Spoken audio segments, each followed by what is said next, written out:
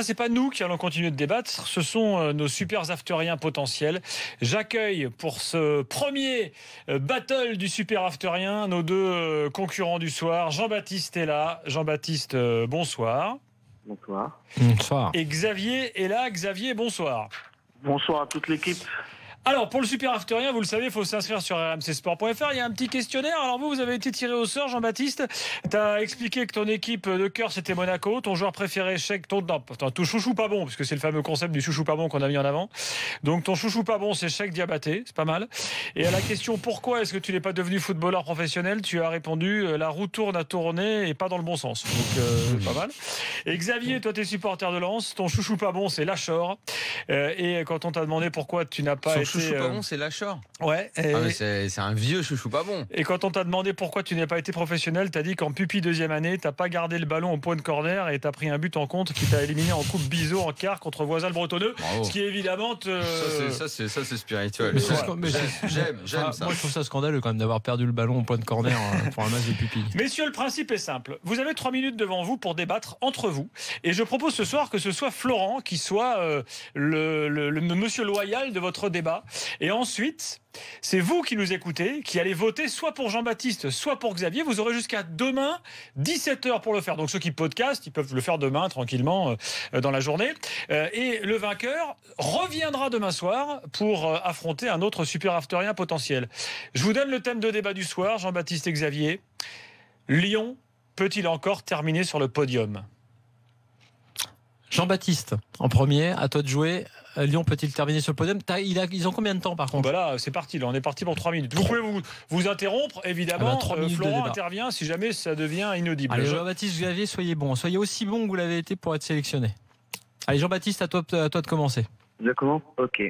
Euh, je pense ça, parce que 13 points, ça fait beaucoup. Même si gagne le match en retard, ça fait 10 points.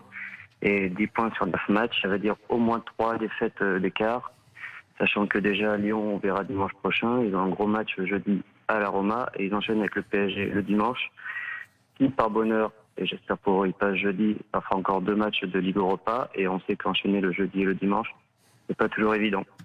Donc euh, c'est une équipe de série qui peut bien finir, mais euh, est-ce que la série va continuer? Je ne suis pas convaincu. Xavier? Oui, donc euh, en fait, tout dépend du match de jeudi. Hein. Si Lyon euh, se qualifier à Rome. Ils ont l'opportunité de jouer en quart de finale d'Europa League et c'est la seule compétition euh, qu'ils pourront gagner jusqu'à la fin de l'année, étant éliminés des deux coupes.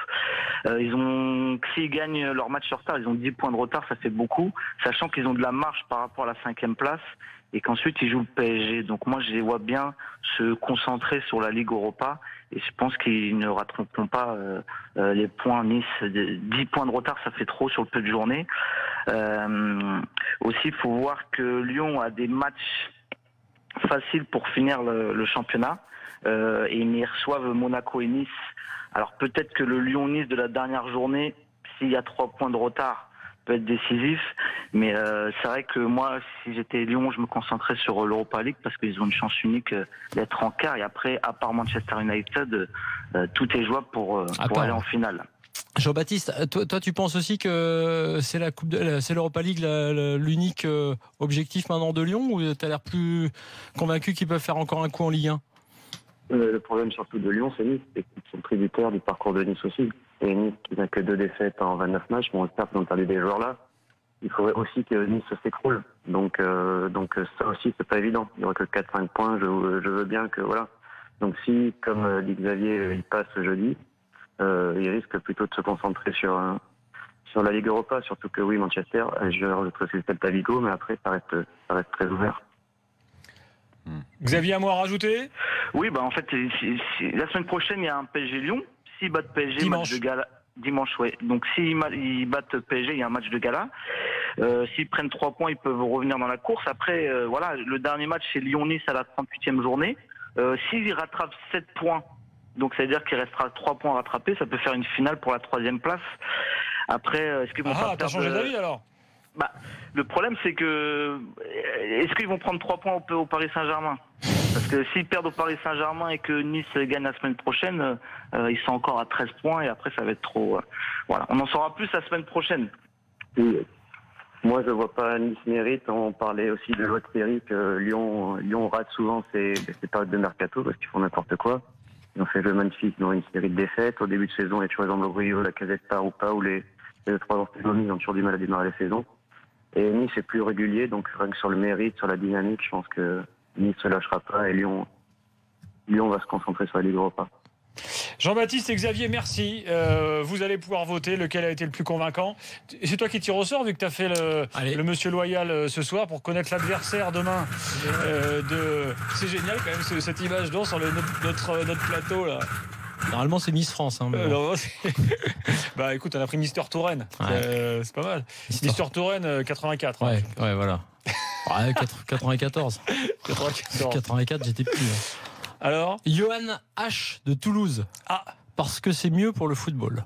Très bien. C'est eh ben, de sa liste, euh, non, c'est pourquoi est-ce qu'il n'est pas, pas devenu joueur pro? Il dit parce que c'est mieux pour le ah, football. Parce que c'est mieux pour le foot. Donc c'est Johan qui demain affrontera soit Xavier, soit Jean-Baptiste pour devenir éventuellement super after. Je rappelle que plus vous restez, plus vous avez de chances de participer ah, à l'after avec nous. J'ai pas montré le pour montrer qu'il n'y avait pas d'arnaque que j'avais bien tiré. Je monte sur BFM Sport.